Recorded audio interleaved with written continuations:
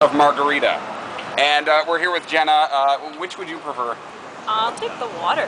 Okay, uh, now we have had a couple of women, I think, who have been um, maybe less than satisfied Upset by the, to say the least. the water spritz. Um, I'm pretty sure we ruined their makeup completely.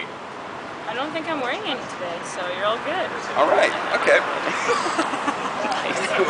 You're better at me than this. Ready for a spritz?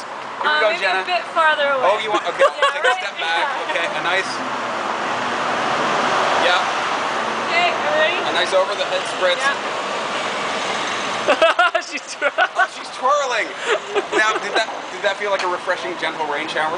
Oh yeah, I haven't had a shower in a couple days. So. Okay. Do you want the margarita now, or No, I'm good. no?